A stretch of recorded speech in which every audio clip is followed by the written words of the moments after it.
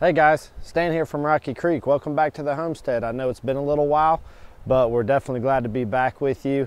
Uh, but anyways, we're preparing now for the holidays. I still got wrestling season going on as well for the team that I coach. So far the season's going great. We're, uh, we're undefeated right now, which is great. I think we're like 12 and 0 or 13 and 0. But this group, uh, they're, they're a special talent, but they're also a special kind of uh, uh, have to stay on them type. Uh, I'd say that they're the, the best talented group, but the worst disciplined group I probably ever have had. And I've said this to their face, so it's nothing that they don't hear. So they're needing a lot of extra time to keep them to their potential. So that's taking up a lot of time. But, but what we're going to talk about today and why I'm standing here in this area is that if you've been with us, you know that we processed our meat chickens this year a little earlier than we normally do because we started having some predator attacks occur and they were coming into the electrical Premier One fencing that we had, which is up here on top as I'm starting to, to break a lot of this stuff down for the year. And I don't know what was getting them. Uh, this area is too far from the house that our Wi-Fi cameras aren't operational. And then you may not know, but just above this hill here, uh, right there at the tree line, if you can see it, is that's where our pigs are. And you know that we had a bear attack our pigs for the first time, killing one of our small piglets. And so this kind of area of our property isn't able to be covered with Wi-Fi cameras like I said.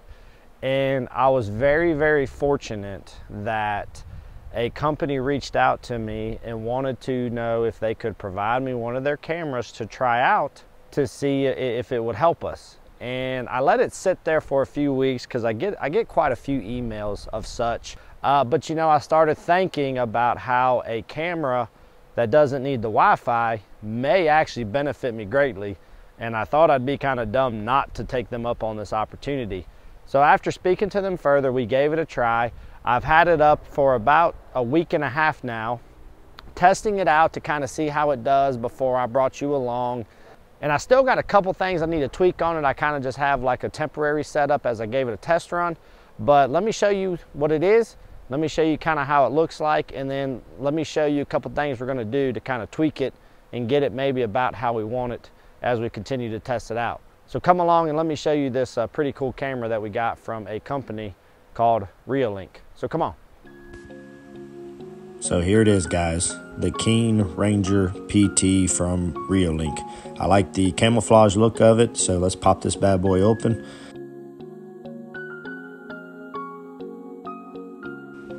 So right here, the top part has some information on how to download the app and some booklets. This will be the wireless antenna to pick up the cell signal. Then of course you have the camera head itself. Here is the power button. Here is where you can plug in the solar panel and then the chrome or gold part next to it is where the antenna will screw on. Here is one of the mounting brackets that you can hook the camera head onto. There's a release button on the top once you have it on. And a strap for if you want to do a temporary mount versus a permanent mount. A charging cable. There's some various packs of screws within here. And then underneath all this is the solar panel itself, along with its cord to plug it in, which is pretty long. Here's the mounting arm for the solar panel. It's pretty good solid metal, lightweight. And then here's an additional strap as well, and there's some other screws in here. So once again, here's the camera head, and there's a couple things on here. Is here's the micro SD portion. It came with a SD card, but to do wireless, it's got another slot for a nano one. So let's see what size this SD card is that came with it. So it looks like a 32 gigabyte SD card came with it. So we'll pop this back in.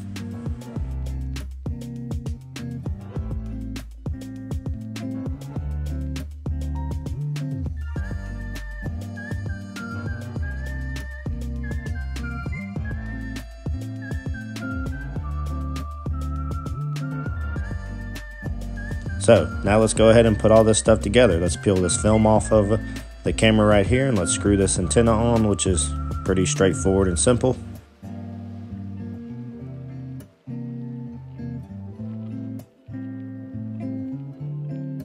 Oh, no, wrong thing. That goes to the solar panel, so I need the other bracket here.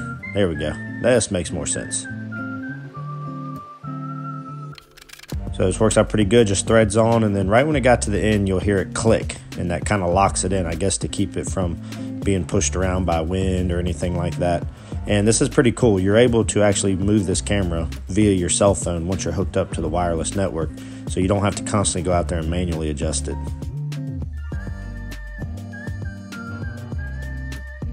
So now let's go ahead and put the correct one on the solar panel so we can get that bracket arm installed. It's a little bit harder to thread on than I was expecting. Alright, so let's get this threaded on to the solar panel so then it has its bracket arm and then it should be ready to go for installation. Cord gets a little bit in the way so I learned it was better just to spin the actual rod, not the panel. There you go. Camera head, solar mount, and some straps to put it on. That should be all I need. All right, so now that we've talked about the camera, let me give you an idea if you're new with us where we're at. There's our home, which we have cameras on, and then you come down here and then there's this path. Those are our fruit trees over there that are still little babies. But then when you come this way, this leads you to where we ran the meat chickens this year into kind of this field. And over here on this locust tree is where I have put this camera temporarily and this is where it's been for like I said about two weeks it's been super windy and stormy so I think that probably blew the antenna down but so far this thing's picking up pretty good. And I don't have it solid mounted. I have it temporarily mounted with the strap. And it's been holding up good. We actually had about five days of continuous rain and high winds and it actually stayed exactly where it's at. But if you notice I don't have the solar panel on it so let's talk about that real quick because I want to get the solar panel put on and then I'll also talk to you about the SIM card part of it because that was new to me and it took a little bit of figuring out. So come on. So hopefully you can see this is the solar panel and I don't want to hard mount it right now because I'm not sure where I'm going to permanently put this thing.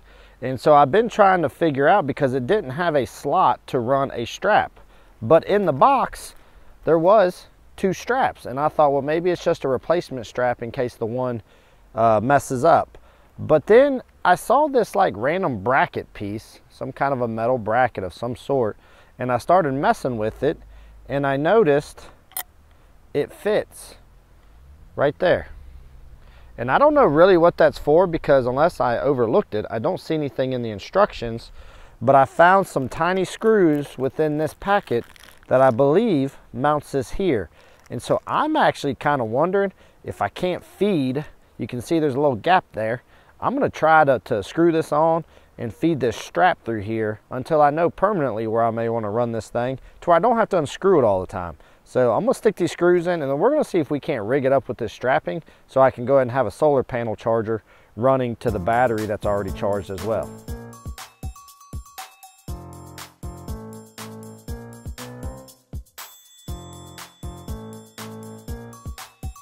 All right, so we got that on there.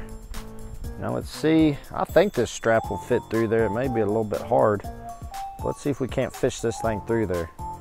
You know, now that I'm thinking about it, I probably would have been smart to lay the strap here and then put it back down. This is why I need y'all here with me. You can keep me, yeah, that's what I'm gonna need to do. That's not gonna work because it's wanting to go down into the hollow part of the hole. So let's back those out and let's lay it across.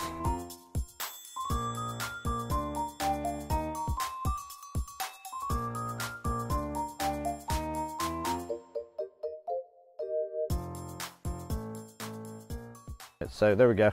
We got that. I can move it through. So let's see if we can't get this thing mounted up and get it plugged up and try to help out this battery stay charged. So they give me a very, very long amount of cable. So I guess if you need to get it, you know, out into the sunlight, um, and then it just plugs in right on the side of the camera, which I'll bring you in closer in a minute, but right here near the antenna is where it plugs in there. So I'm gonna come back here with some clippers and I'm gonna clip a bunch of these branches off. But for right now, we're gonna get her mounted. The sun rises to my left, so I'm gonna try to hook this thing on around here on the smaller branch next to it and see how that works out. Now you guys, I self-admit, I have not done much with trail cameras. So a lot of this is rather new to me. And doing a SIM card style camera was definitely very new to me. Uh, so if you're new to a lot of this stuff like I am, hopefully my experience will help you um, because I claim to be an amateur. I do not claim to be a professional. There we go. I keep sliding that strap because the branch that's going on is relatively small. There we go. All right, turn that, tilt that. And I'm gonna have to undo this cable because I do need a little bit. I don't wanna let it all out actually. I don't think I'm gonna do that. So we're gonna do this. I'm gonna take it back here and then plug it up. All right, so I'm not sure how much you could see that. So here is the solar panel and I turned it this way because the sun does rise over there and as I was explaining these branches right here I'm gonna trim some of those but really there's no leaves so there should still be a good amount of sunlight come into it. So and then we ran that strap which actually worked out pretty well. So I don't know if that's what it's for but if you want to be able to run straps that did work out just fine. And then I just brought the cord over the top and you can see the access there. And then I brought it here where it plugged into here. Now I had a little hard time plugging it up because it has this rubber housing that I assume is for waterproofing and it's loose. And so I kept thinking I was turning the plug-in, but really I was just turning that rubber outer part. So I had to kind of hold it a little bit weird to get it to plug in there. But now it's in there good and snug and we got the antenna back up. So that's the whole camera setup right there though. And now we got the solar panel to aid and assist it. So now that we've shown you the camera installed and how we've got it running, let's talk about the SIM card setup real quick because that was new to me. So guys, when the Reolink camera arrived, it has, I think it was a 32 gigabyte data card in it to where you could run it like a traditional game camera where you just kind of set it, forget it, and then come back and review your videos later on. But if you wanted to do a live stream, then you needed to get some kind of a data plan SIM card. And so I did some researching on it because I didn't know anything about that. I'm not technically savvy. And the best that I could find um, from what I was able to look for was a company called EI, EI, Yacht Club? EI, I don't know, EIOT Club. Um, and so I got what they call their triple play data plan. And from what I read when I was trying to figure this part out was that it's gonna tie into a cellular tower and you gotta figure out which provider works best in your area. And so to be on the safe side, this triple play data card covers AT&T, Verizon, and I believe it's T-Mobile. And for us, uh, AT&T and Verizon are very strong carriers and I figured I'll get all three just to be on the safe side. And when they show up, they show up with the different size cards depending on what you need. And I needed, I believe, what they call the nano one. So that's been punched out. And it was actually super easy when I looked into it. All I did was on the bottom of the camera, well, first I downloaded the Reolink app, which, which was free, of course. And then I unscrewed the camera from its mounting base and at the bottom of the camera there is a um, QR code. Um, I scanned that QR code and I, I stuck the uh, nano SIM card into the device. And once I put the SIM card into the device I turned the camera on and a blue light was flashing and after about a minute to two minutes it told me it was connected. And all I did from then was uh, that QR code with the website, it put it up and it kind of just set itself up no problem. It took me through some steps. I named it, I think I named this one front slash pig area. Um, and so you could set them up like that and you can do multiple devices. Um, but honestly, this was pretty easy. Uh, but there are some cons to this and I'm gonna talk to you about that here. So what are some of the cons to running this SIM card is number one, it's got a monthly expense to it.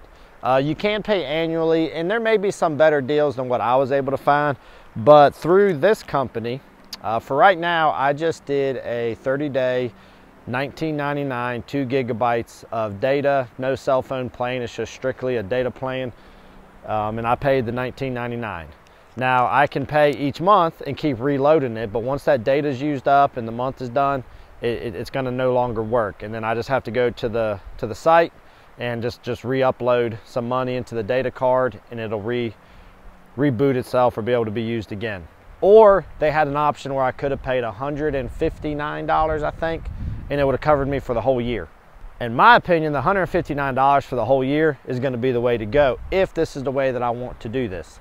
Uh, but I wanted to just commit myself to $20 for 30 days just to see how well it operated, how much did I use it, and how much am I gonna need that. Depending on how that plays out, I plan to do one of two options. I may either go ahead and pay the $159 for the whole year and be done with it, or I see myself using this camera primarily needing the live feed during two times. Number one, when we're running our meat chickens for about two months out of the year, or if we have another set of piglets, this camera will become a huge game changer when I want to monitor the sow as she's about to give birth and or the piglets after they're born. And so I, then I have to weigh, you know, three months in total of maybe usage would only equal 60 bucks. So do I just pay the 60 or do I pay the 159? So I think it's still to be determined, but you know, that's the only con to it is you will have a monthly fee during the times I'm not doing the fee, then I can't always just do a download of the of the SD card that's already in it, just to see what kind of animal traffic we're getting here, whether we're starting to get bears in the area, coyotes. Because while I don't have chickens down here, I don't have a great concern. We have the electrical line running outside of the pigs now, so I don't really have concerns about them getting attacked any longer. So I'm really only really, really concerned about what is actually happening right now when I have chickens here and when we have baby piglets. So, you know, it's gonna be a balanced thing here um, as we proceed. But right now, functionality, it's been very user friendly. Setting up the SD card, much easier than what I had, or SIM card technically, is much easier than what I had anticipated. And installation was pretty good. Um, so overall, I've been very pleased with it. And now let me show you some of the quality of videos that we've been getting off of it so you can kind of see that for yourself as well.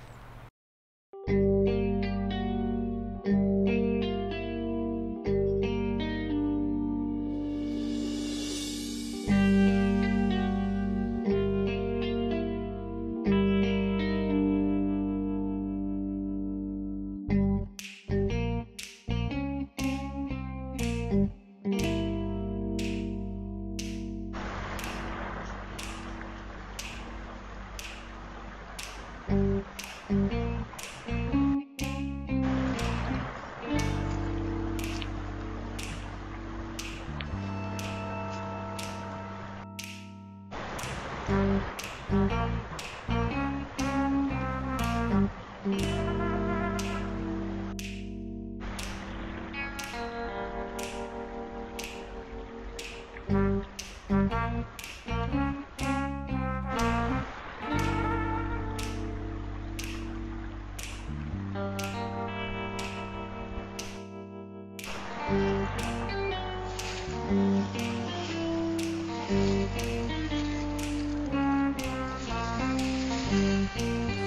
Now let me show you a little bit about the Reolink app. When you bring it up, it'll initially default to going to a live connection view.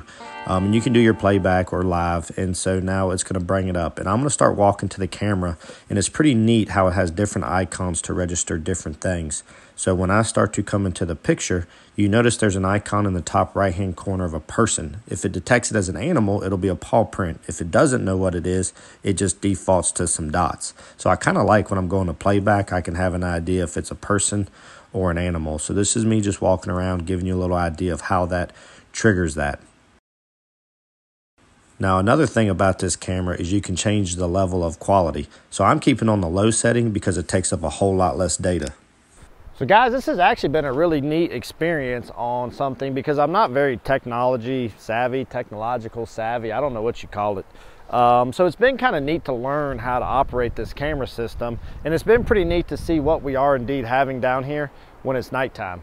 And so I'm very curious to see how this will progress and we'll see how this month goes. Uh, but so far, I've actually been very pleased with this Reolink camera. Um, I'm not affiliated with them by any means. They just asked if I would try it out and give an honest review for it and to share it with you all um, in exchange for giving me the camera.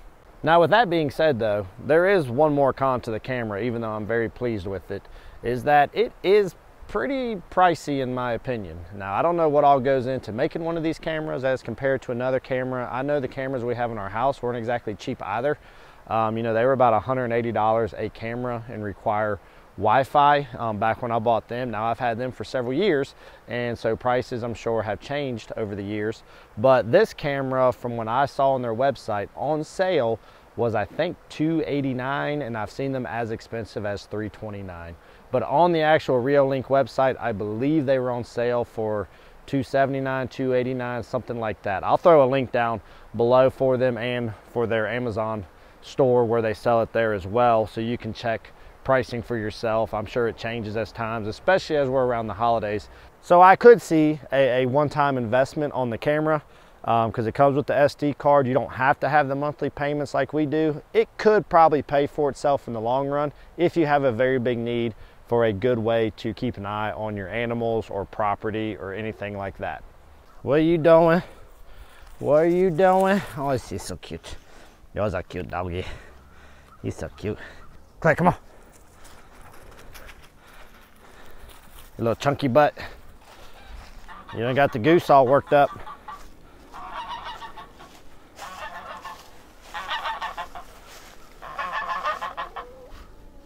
What are you mad about? I hear you. It's just a dog. It's okay. So guys, one thing I plan to use this camera for, especially because I don't think we're gonna have no piglets anytime soon, and we're done with meat chickens for the year, but I kind of just wanna have it set out there in the front for a little while just to see what kind of predators I may be able to pick up over the next couple weeks. Uh, but then I actually plan to move it, which is why I only wanna use straps, is I wanna move it over here into the chicken area. And I want to move it over here because if you remember last year, we had our second, our other goose that we had, because we had two, got attacked by something. And then something got my Ayam Cemani hen that had some babies. And I'm thinking that was probably a raccoon because my wife has seen a raccoon in here before. But I think I want to set a camera up in here as well for you know several weeks just to see if I'm getting any kind of activity here within the run. Now the good thing is ever since we put the automatic chicken door in and stuff, we haven't lost any um, chickens to predators and then ever since the addition of the goose, so far fingers crossed we haven't had any aerial predator attacks. So, so we're hoping we can maintain that, but I still want to see what kind of critters we may or may not be getting in here with our chickens. Uh, so guys, I'm not gonna tell you, you know, to go buy this Reolink camera or not. Um, I'm just giving you my honest opinion of it. I'm very thankful and blessed that I didn't have to purchase this. And we kind of have had some situations, particularly this year, that a camera that, that can pick up, that doesn't need the Wi-Fi, very much could benefit us. So I'm beyond blessed that they sent this to me. You know, if I had the available cash, I would probably buy this camera. Uh, I do know that, you know, upper $200 range is pretty hard for some people. But in so far with my experience with this camera, I'm very pleased with it. Um, I would recommend it as of this point for right now. Uh, my experience with the SIM card company, because that is not provided to you, um, I'm very pleased with that as well. Um, it was very easy and user-friendly. I don't know how easy and user-friendly the reload of it's gonna be, but the initial setup, purchasing, getting it, and so on and so forth, that part was um, rather easy. So, you know, overall, my experience has been good with both the camera and the SIM card. I'm not a, uh, the SIM card company didn't reach out to me. I just had to Google those on my own and try to see what I could find. Um, I couldn't find anything in any local stores, so I had to revert to the internet. Um, so guys, I hope this may help you out. I know it's not a lot about homesteading, but that, that camera definitely could be usable on a farm and or a homestead. So go check them out, make an opinion for yourself. I believe some other people have uh, found someone, I looked up some information, uh, Stony Ridge Farmer. Um, he's got a pretty big page. Um, I used to watch a ton of his videos back in the day, just haven't because of time's sake here lately. But he as well utilized, I believe, an older version of this camera and was pretty pleased with it and did a pretty cool mobile setup that he has for that. So you can go check his channel out if you want some further information on it. But hopefully this helps. Appreciate y'all coming along. If we don't see you before Christmas, we hope everybody has a wonderful and Merry Christmas. But I sure hope to be with you before that. But we'll see how things go in this busy life that we have. But guys, appreciate y'all. Hope everybody's doing well. And we'll see you here very soon on one of our next episodes. Thanks, guys.